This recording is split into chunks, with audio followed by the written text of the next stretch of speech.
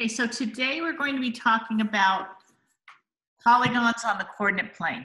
You can plot points that what I have here is the coordinate plane and we have the y-axis going vertically and we have the x-axis going horizontally.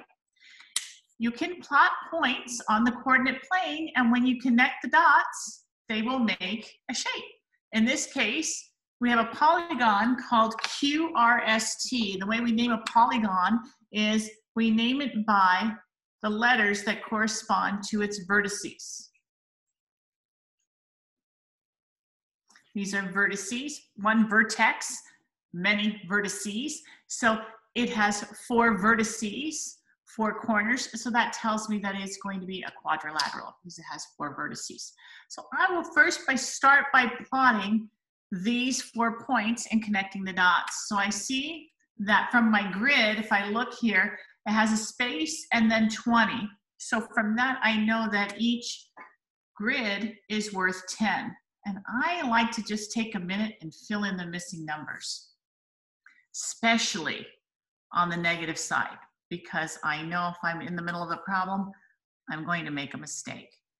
I'm looking at the y-axis. The y and x-axis don't have to have the same spacing, but I notice on this well problem it does because every other is worth 20. That means every one is worth 10. Again, I'm going to fill in a few because right now I'm thinking about it and later on I'm going to get thinking about other things and I might make a mistake.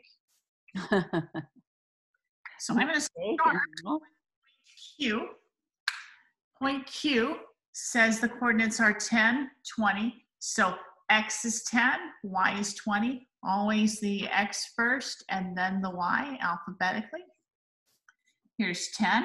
Start over on, start from the origin. I go over to 10, and then we go up 20.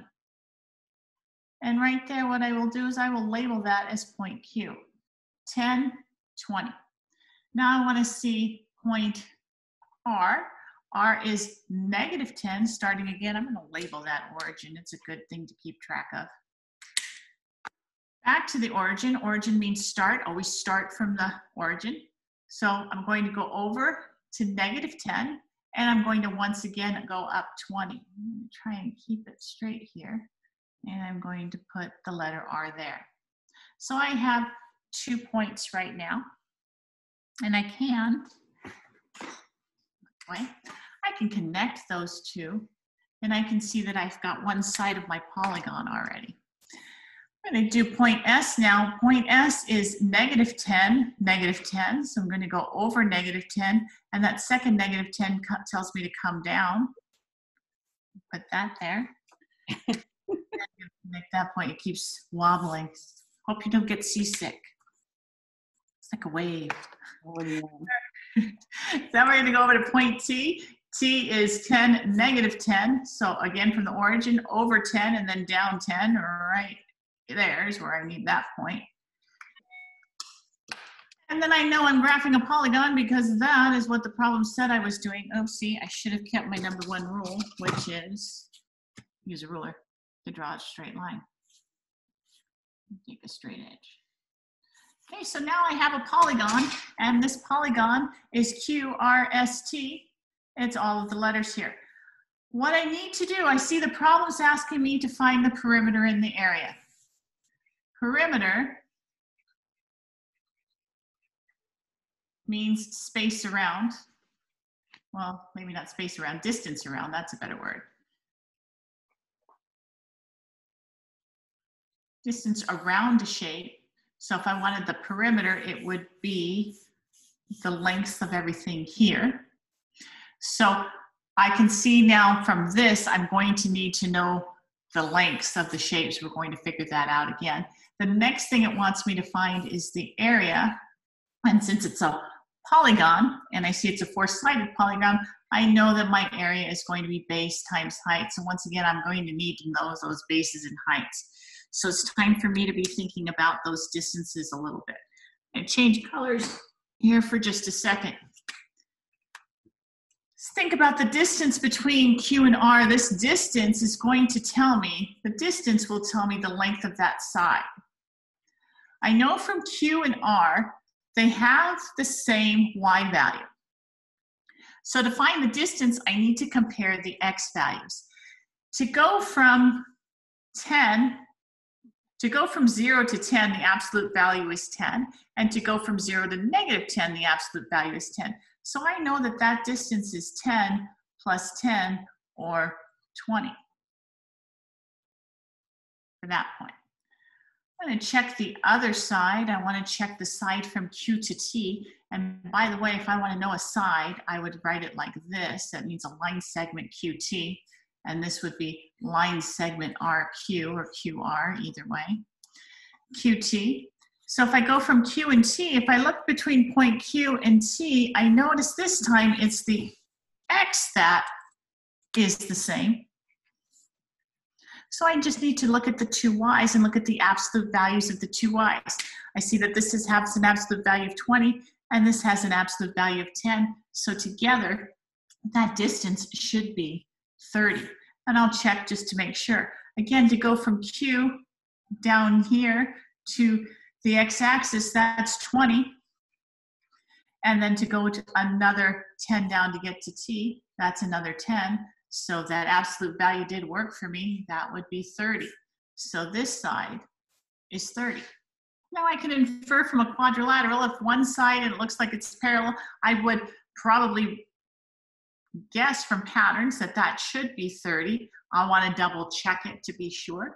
Going from R to S, from R to S, we have a match in the x-axis. So again, 20 for the absolute value, 10 for the absolute value, it is 30. And again, that would be point, that would be line segment RS is worth 30. And I could assume that this is 20, but it just takes a minute to check, so I might as well check to see what line segment ST is. Again, the coordinates, the y coordinates are the same, so I'm going to look at what's different. I'm going to look at the x coordinates, absolute value 10, another absolute value 10. So 10, and 10 makes 20. I can check it from the graph too. 10 and another 10 makes 20. So now I have all my sides. So now it's time to answer the question. So for perimeter, perimeter would be all of the distance. That would mean that I would add up those line segments. RQ, QT, ST, and RS. So I just will go around and add them up. 20 and 30 and 20 and 30. So 20 and 30, another 20, another 30. I can see this is 50, that's another 50. So it makes 100. 100 units because I don't know what these are in. 100 units. Mm-hmm. That's what the perimeter is. And it's always helpful to circle your answer. A lot of work for that answer. I want to make sure we don't lose it. Okay, the next thing I want to do is I want to work on the area then. It's a polygon, so my formula for the area is base times height. I can call this the base, um, this the base, and this is the height.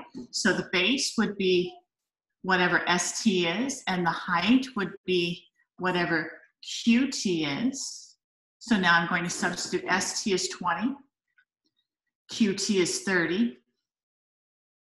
20 times 30 is 600, and that would be units squared, or I would write it as units squared or squared units, either way. Sometimes we say that first. That part's a little hard to see. Okay. I'm going to turn that in there. Move it toward, yeah, that's good. All right. So I'm going to move it toward me. So one more time, the area then is base times height. This line segment was the base. This line segment is the height. 20 was the, the base. 30 is the height.